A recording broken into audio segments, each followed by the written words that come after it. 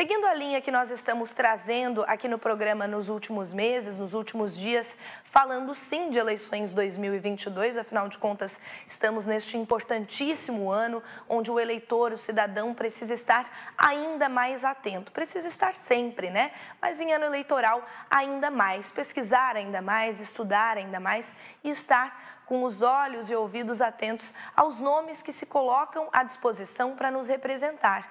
Então, é o momento, daqui a pouco chega o momento de escolher o seu candidato a deputado estadual, federal, senadores, governadores e presidente da República, assim como seus vices. E por isso, a gente trazendo ainda na linha de uma TV regional que traz as informações do nosso extremo sul, estamos priorizando entrevistas com candidatos que são daqui, para lembrar da importância também do voto regional. E por isso a gente recebe hoje aqui no Jornal do Meio Dia, pode abrir a câmera, mais uma dessas pessoas que se coloca à disposição é, para representar você, eleitor, você, cidadão. Essa pessoa é o Tiago Zilli, que é natural de Timbé do Sul, ex-prefeito de Turvo, e a gente traz ele hoje de forma presencial aqui no programa para um bate-papo descontraído e esclarecedor também. Muito boa tarde, Tiago. Muito boa tarde, Sofia. Muito boa tarde a todos que estão acompanhando o programa. Olha, muita, muito agradecido por estar aqui, por poder falar com a população sobre a nossa vida, sobre política, sobre coisas boas, né, Sofia? Com certeza. Então, muitas pessoas aqui da região com certeza já conhecem a trajetória na vida pública de Tiago Zilli, que é esse prefeito de Turvo, que foi muito bem reconhecido neste papel e que vem então nos últimos anos, é, nos últimos meses, perdão, desempenhando todo esse trabalho é, de campanha, né, Tiago? Pré-campanha, campanha, ir em busca de conversar com não só as lideranças, mas as pessoas em suas casas, em suas instituições, ouvir o que as pessoas têm a dizer e por isso quero te questionar a primeira pergunta, Tiago, é claro, o que, que levou essa sua candidatura, então, o que, que move essa vontade de nos representar na Assembleia? Olha, Sofia, posso dizer com toda satisfação que isso é uma alegria que eu estou fazendo. Até porque eu me preparei para isso, né? eu, tive, eu tive dos dois lados do balcão. A minha vida sempre foi atender as pessoas, é, trabalhamos na, na, na loja com o pai, com a mãe, e aí veio a época que a gente conversa com, com as pessoas, conversa com os amigos, e eu fui prefeito de Turvo, aprendi a conhecer a vida das pessoas, aprendi aquilo que as pessoas precisam no seu bairro, na sua rua, no hospital, no posto de saúde, na escola, na APAI. A gente se envolve com as pessoas. E fizemos um trabalho muito bonito, me dediquei durante oito anos, fui quatro anos vice-prefeito e quatro anos como prefeito, e aprendi que se tu tiver parceria, se tu tiver amigos, se tu tiver aonde buscar, tu vai conseguir melhorar a vida das pessoas. Eu acho que a política ela pode trazer isso. A gente sabe que as pessoas estão muito desacreditadas com a política, mas a parte boa que eu vejo, Sofia, é que as pessoas estão começando a se envolver. Elas têm a informação na mão, elas têm a oportunidade é hoje que a TV Sul Catarinense está dando de conhecer a vida das pessoas, de saber a sua história, aquilo que ela fez. E isso está me deixando muito feliz, porque aonde a gente vai, a gente ouve as pessoas e também sabe aquilo que precisa, sabe aonde buscar e sabe que uma representação na região pode transformar a vida das pessoas. Com certeza. A gente, inclusive, percebe esse cenário aqui, através da interação com os nossos telespectadores, cada vez mais a busca dos eleitores, dos cidadãos, por informação e por não só conhecer o candidato, quem é aquela pessoa, mas conhecer o seu planejamento. E, afinal de contas, este espaço de entrevista, de informação, serve para o candidato é, usar para de fato esclarecer o que tem é, de proposta, o que propõe a esse eleitor e esse cidadão. Então, quero iniciar aí nas pautas né, gerais, que são aquelas que a gente já conhece, aquelas principais. E quando a gente fala de pauta principal, a primeira coisa que a gente pensa é em saúde, né, Tiago? Então, queria perguntar é, qual a sua visão. A gente passou nos últimos meses por sérios problemas na saúde catarinense, inclusive aqui no extremo sul. É, foi um assunto muito debatido e que é um momento também dos candidatos agora trazerem este assunto. Sei também que o senhor se reuniu recentemente com representantes da saúde, com lideranças, para saber as demandas, e aí queria então entender o que o senhor tem de proposta em relação a este tema. Olha, Sofia, eu posso dizer que desse período todo que eu estou na, na política, nesse período que eu me preparei, o que a gente mais ouve as pessoas falarem é de saúde. E a gente não pode usar a campanha eleitoral, o período eleitoral, só para mexer nos sentimentos das pessoas, para pedir o voto. Agora, tu pode querer propor é, melhorias, investimentos. E quando eu estava na prefeitura de Turvo, eu aprendi bastante. Eu investi muito no hospital, demos condições de que o hospital se tornasse filantrópico, pudesse ter contrato, que a gente fez no nosso período, fez contrato com o hospital para atender bem as pessoas. Construímos um complexo lá em Turvo, Sofia, uma coisa mais linda. Eu considero que foi a obra mais importante que eu fiz transformamos um local perto que é do hospital, que nós ganhamos um colégio, transformamos num centro de, de atendimento da saúde da população. Levamos lá a Secretaria da Saúde, a farmácia básica, fisioterapeuta, o CRAS, assistente social, para atender a pessoa. Para quando ela tiver precisando de saúde, que ela tiver um lugar confortável, um lugar bom para ela voltar melhor para sua casa. E nós fizemos isso. Né? Nós sabemos que aqui na nossa região, nós temos o hospital regional, que é o único que atende 100% SUS. E ele precisa de muito investimento na saúde. Por isso que eu me reuni com os profissionais da saúde. São eles que entendem. Nós, como somos gestores, a gente dá oportunidade para eles desenvolver o seu papel. Claro. E eu queria ouvir eles. E saímos com uma proposta muito positiva. Se a gente conseguir chegar lá na, na Assembleia, e nós temos uma, uma proposta muito boa para fazer, nós vamos ter um, uma pessoa indicada no gabinete só para cuidar da saúde, para atender os médicos, os hospitais. E o principal, ele não vai ser indicado por mim ou por políticos, ele vai ser indicado pelo Conselho de Saúde que são pessoas que entendem. Então, isso já mostra que é uma preocupação grande para trazer investimentos para cá, para fazer as pessoas poderem acreditar. Porque, claro, eu venho hoje pedir o voto para as pessoas, que as pessoas me dêem oportunidade para defender aqui, para defender a família, para defender as pessoas que mais precisam. Então, a pauta da saúde é uma pauta geral que é, é importante para todos, né, Sofia? Perfeito. E claro que você sendo daqui, Tiago, vai sempre trazer as temáticas mais do extremo sul, afinal, é, traz como slogan o Apaixonados pelo Sul e a gente vai conversar sobre isso daqui a pouquinho também.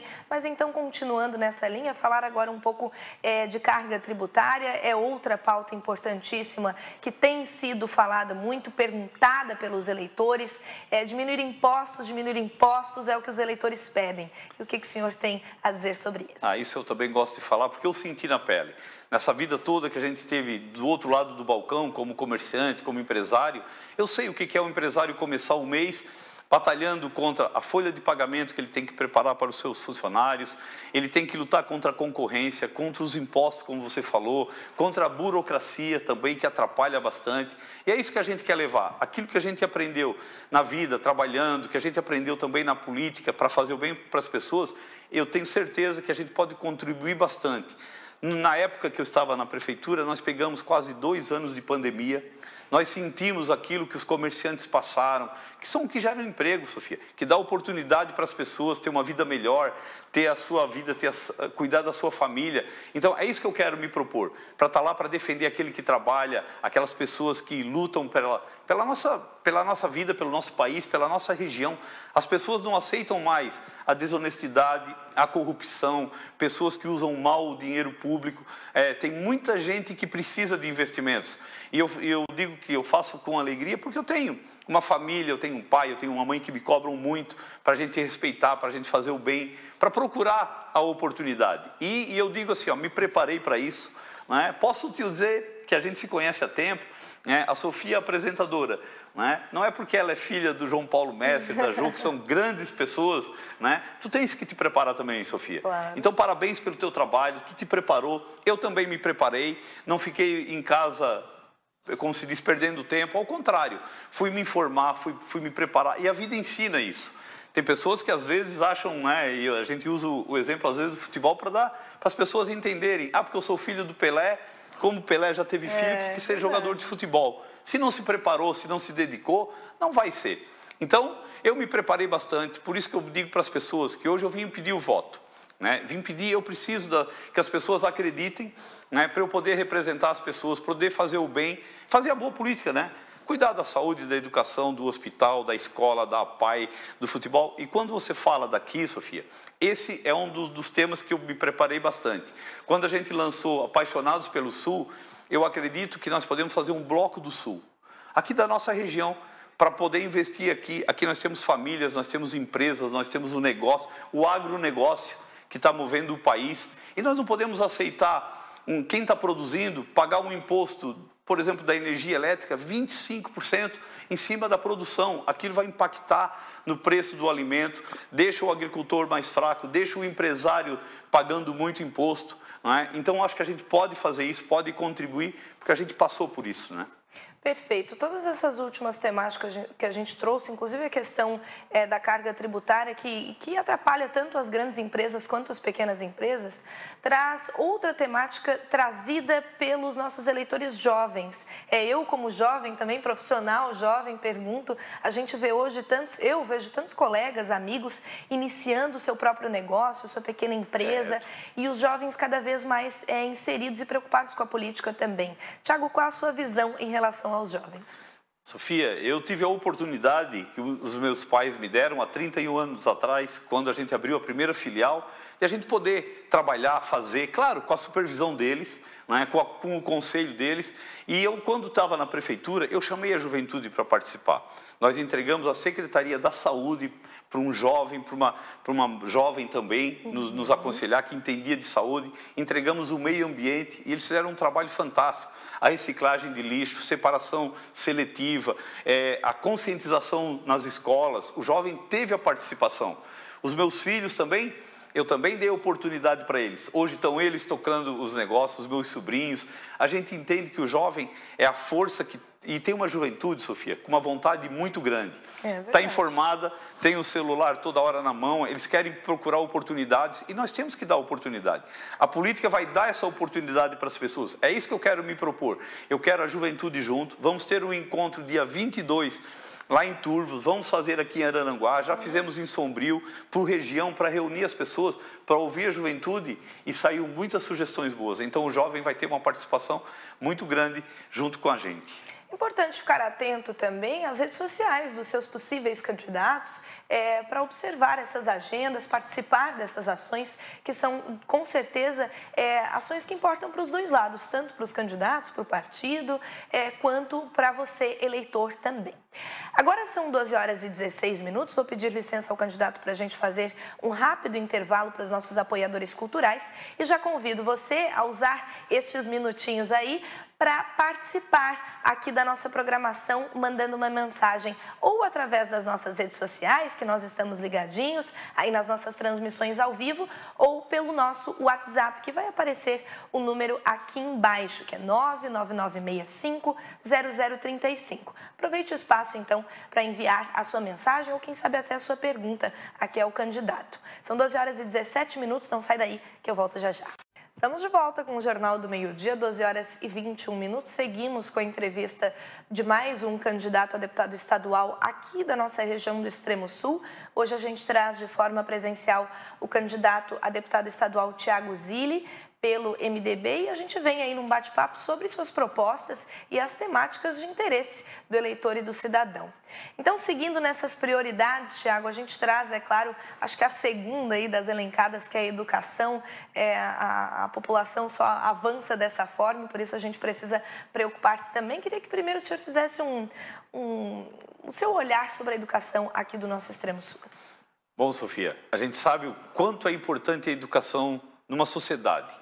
É, é, foi o professor que nos ensinou, é o professor que é o pai de todas as profissões que nos ensina, e ele precisa ser olhado com, com carinho, não só na época da eleição para se fazer promessas, mas para dar oportunidade para eles. Eu penso que agora a gente vê tantas transformações, tantos investimentos nas escolas, porque elas ficaram muito tempo e, e, precisa de investimento. O professor precisa de condições para dar uma boa aula. O aluno hoje ele também já chega de, em casa, às vezes com a informação, e aí o professor precisa de condições, precisa de salário, precisa de valorização. Né? Então a educação, quando eu tive na prefeitura, é, eu dei oportunidade para a secretária da Educação, dar oportunidade para, para as crianças aprenderem bem. Nós demos tablets, nós botamos ar-condicionados em todas as salas, nós investimos na educação, demos apostilas de qualidade, apostilas da Positivo, que às vezes só via na, na rede particular. E a pessoa que, que tem o ensino público, ele também tem o direito de ter a, a educação. Né? E a valorização dos professores, a gente sabe daquilo que o professor É, às vezes o professor foi taxado com, com uma carga tributária, que passou trabalho lá atrás, não pode pagar essa conta. Então, acho que um planejamento, é, investimentos na educação, mas isso é prioridade, tem que ser prioridade de todos os candidatos, Sofia. Perfeito.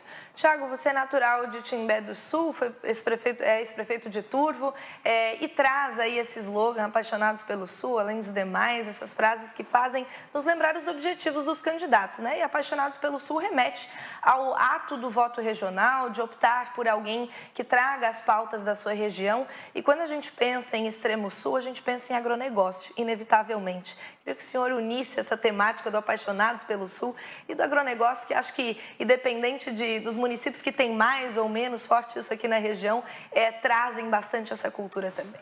Olha, Sofia, esse é um tema que eu também sou muito apaixonado pelo tema, porque isso reflete diretamente na nossa vida. O agronegócio é o que move esse país, é como a gente tinha falado antes, e ele precisa de investimentos. A gente fala tanto em turismo também, que a nossa região é uma região rica, uma região bonita, e precisamos de investimento. Quando o turista vem para a região, ele vem, mas ele quer uma, uma, uma infraestrutura. Ele não pode chegar aqui e ficar na, na, na fila para chegar às nossas praias. Nós temos as maravilhas aqui, nós temos as nossas praias, tem o Morro do Convento, dos conventos, nós temos é, em Praia Grande o balonismo vindo, nós temos o Geoparque, que agora a nossa região se tornou, graças ao, ao esforço de muita gente, de pessoas que, que se dedicaram. Né? Então, a gente precisa valorizar isso. E aí precisamos mostrar para o governo do estado que o nosso sul ele não pode ficar esquecido. Nós ficamos muito tempo e aqui não é uma crítica por ninguém que passou, mas não podemos mais falar que a nossa região é a mais pobre do estado. É por isso que eu digo, nós temos empresa, pessoas, nós temos uma oportunidade muito grande agora, vindo a 285, com a abertura, você falando no agronegócio, só para ter uma, uma noção, o Rio Grande do Sul produz por ano 10 milhões de toneladas de soja. E 30% dessa produção vai descer pela BR-285, porque o porto de Imbituba é mais fácil o acesso. Né? Mas isso precisa ter infraestrutura para que os empresários, o caminhoneiro, a empresa que, de transporte tenha condições para trabalhar. Eu quero ser um defensor da, dessas empresas, dessas pessoas que geram a riqueza, né? porque eu também senti na pele, quando a gente teve né, à frente trabalhando, dos investimentos que precisam. Então, o agronegócio, o turismo, o investimento na nossa região não dá mais para a gente esquecer. E eu gostaria que as pessoas procurassem saber, um deputado, ele tem por ano 10 milhões de emendas que ele vai indicar para onde que, que ele quer.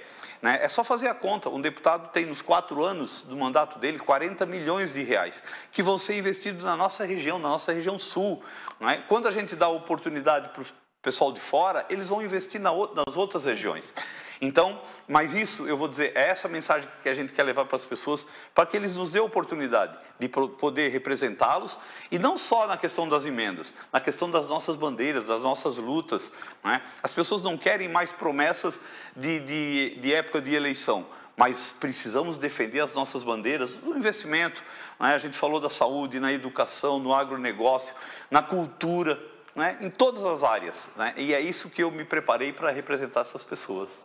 Perfeito. E ainda trazendo, a gente traz bastante essa temática do voto regional, porque a gente vê uma região próxima, por exemplo, é, a MES, é, perdão, a Murel, a ANREC, que formam é, uma banca aí tão grande de opções e a gente tem força também para trazer esses candidatos representando a nossa região e, de fato, como o senhor bem colocou, nos últimos anos a gente conseguiu ver um avanço um pouquinho melhor aqui da nossa região do Extremo Sul, principalmente no que diz respeito à infraestrutura. E o senhor citou aí a 285, é, queria lembrar, na sua visão, mais importantes obras relacionadas à infraestrutura que é, inevitavelmente se relacionam também ao turismo aqui da nossa região do Extremo Sul. Ah, sem dúvida. Nós temos o Porto de Imbituba, que tem uma grande oportunidade para dar emprego, geração, muitas pessoas vão ganhar com isso. E isso, para escoar a produção até o porto, nós precisamos de infraestrutura. Nós temos o aeroporto de Jaguaruna, que nós temos que transformar também no aeroporto de carga. Hoje ela é só de, de passageiros.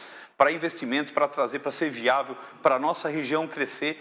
Que daí, quando eu falo, Sofia, de fazer o Bloco do Sul, é para isso para que todos tenham força. E quando tu faz união com, com empresas fortes, com regiões fortes, tu também vai conseguir ganhar. Nós aqui na MESC, nós temos 15 municípios, são 210 mil pessoas que também batalham, que tem que estar aqui, que tem que dar oportunidade para o jovem continuar aqui, para ele desenvolver o seu talento, o seu trabalho. Então, a oportunidade é muito grande. E é na época da política, né? A época da política é de conversar, de falar com as pessoas. Eu sempre digo que a época da política é a época da esperança. Que as pessoas começam a planejar a sua vida, começam a olhar para o futuro. Né? E Santo Agostinho dizia que a esperança tem duas filhas lindas, a indignação e a coragem. A indignação para te não aceitar as coisas como estão e a coragem para te poder mudá-las. Né? Então é importante as pessoas é, se dedicarem, olharem, é, e a gente pede Olhem a vida do, do seu candidato, pesquise eh, a vida dele, olhe a família, o trabalho, o comprometimento. A nossa família, né, do meu pai, da minha mãe, do meu irmão, foi aqui na região sul, na AMESC, na ANREC, na Murel. Aqui na AMESC nós vamos na praia, nós vamos no, no campeonato de futebol, nós participamos das festas, nós participamos da vida das pessoas. Eu quero ser o representante das pessoas. E vou te dizer, Sofia, ontem, segunda-feira, eu cheguei em casa lá em Timbé, era sete e meia. Fui dar um beijo na mãe e no pai e o pai não, não estava. Aí a mãe falou, ele já está na campanha, Tiago. Encontrei ele cedo visitando as pessoas e ele assim, Tiago, é uma festa porque nós vamos fazer o bem e ele me pede isso todos os dias. Vai com alegria, leva a mensagem para as pessoas, são famílias, são pessoas, é o nosso nome e eu faço com gosto isso. Então é uma época assim muito bonita para poder conversar com as pessoas. Perfeito. Olha, Thiago, e falando em conversar com pessoas, tem gente participando nesse programa hoje aqui através das redes sociais, hein? Tava aqui de olho enquanto ele respondia, claro que dando um check-up aqui nas mensagens e a gente vai ler juntos aqui.